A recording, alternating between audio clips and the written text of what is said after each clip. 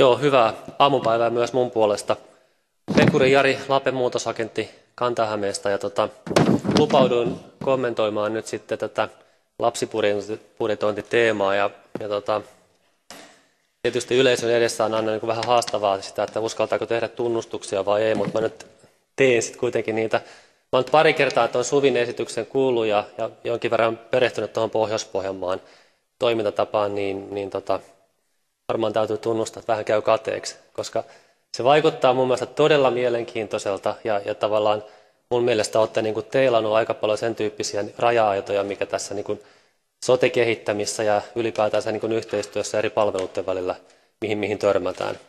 Ja tota, jotenkin tuosta, tuosta esityksestä tällä kertaa aikaisemmalla kerralla tulee sellainen olo, että, että, että voiko todellakin budjetoinnista innostua, niin lapsibudjetoinnista mun mielestä voi innostua, koska se Must, mun mielestä se näyttäytyy siltä, että, että se on niin ratkaisu, ratkaisu tietyn tyyppisiin ongelmiin.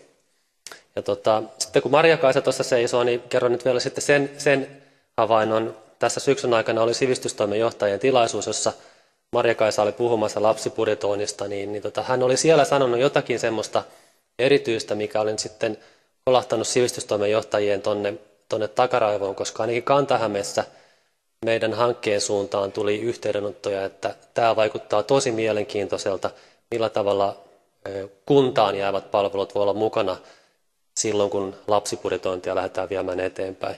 Et mun mielestä vaikuttaa siis siltä, että, että pää on nyt jollakin tavalla auki, ja, ja tota, mun mielestä Suvin kannattaisi kiertää nyt maata, niin kuin varmaan teetkin, niin ristiin rastiin tämän teeman aiheelta. Itse mä varaan sut Kantahämeeseen, tosin ollaan kyllä puhuttukin tästä mutta heti tammikuun alussa.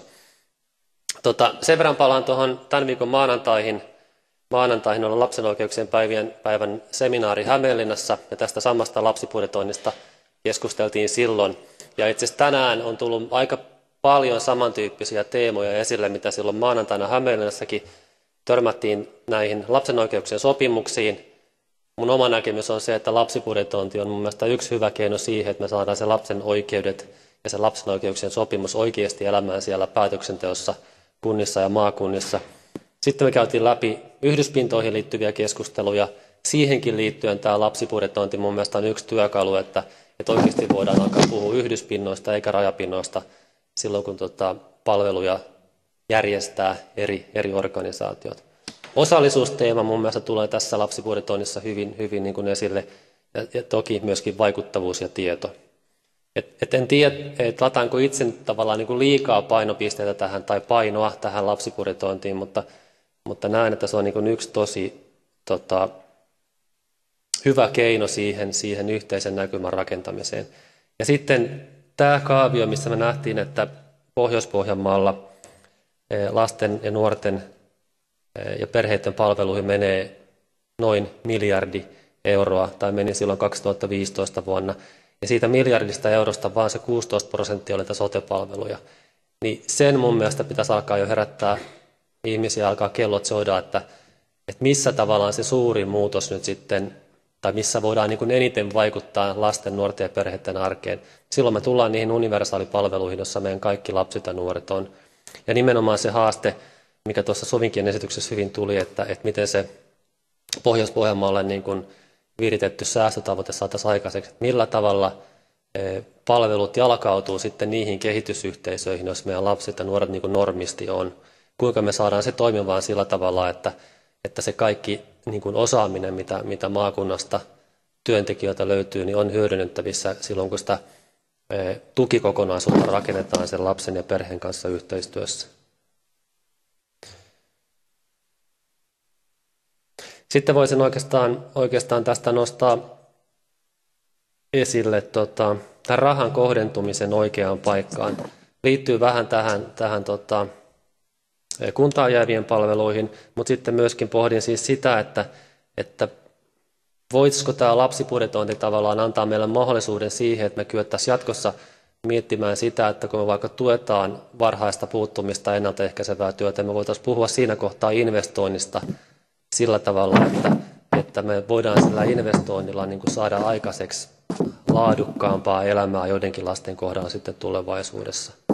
Mun mielestä tämä investointiajattelu on yksi sellainen, mikä olisi niin kuin syytä, syytä ottaa sillä tavalla niin kuin keihään kärkeen tietyllä tavalla, että et, et, et sitä ajattelutapaa voisi viedä eteenpäin. Uskallettaisiin ottaa riskejä sillä tavalla, että, että voitot ikään kuin tai hyödyt on tulossa vasta myöhemmin. Mun mielestä tässä, tästä on kysymys siinä ennaltaehkäisevässä työssä. E, sitä jonkun verran Hämeenlinnan kaupungilla kokeiltiin, kokeiltiin aikaisempina vuosina, ja siitä saatiin ihan, ihan tota niin, hyviä ja piristäviä tuloksia, mutta siinä mun mielestä niin on myös sitten syytä pitää mielessä se, että kun meille muodostuu joku palvelu, niin helposti meillä käy sillä tavalla, että se palvelu kyllä täyttyy asiakkaasta me ollaan taas sitten pattitilanteessa. Meidän pitäisi niin tosi tarkkaan miettiä, että mitä me sillä mahdollisella investointirahalla ja sillä resurssilisäyksellä saadaan aikaiseksi siellä ennaltaehkäisyssä palveluissa. Ehkä sitten vielä tässä haluan nostaa sen, mitä tuossa osittain äsken totesinkin, niin, niin kun seurataan lapsibudjetointiin liittyvää keskustelua, niin meillä yksinkertaisesti tällä hetkellä ei ole varaa siihen, että meidän palvelut lähtisivät eriytymään. Että oli tavallaan se sote-ratkaisu nyt mikä tahansa, niin, niin meidän on päästävä sen tyyppiseen tilanteeseen, että, että palvelut näyttäytyy palveluiden käyttäjille yhtenä kokonaisuutena ja nimenomaan niin, että siellä on se lapsen tai se perheen tarve taustalla, jolloin pohditaan sitä, että mitä tukea sille perheelle voitaisiin antaa. Mä näen, että tämä Labu on yksi sellainen reitti, mikä tuo sen yhdyspinnan sen soteen, sote-palveluiden ja maakuntaan jäävien palveluiden välille. Kiitoksia. Kiitoksia Jari. Ja äh, pyytäisin nyt, että jos to, Eija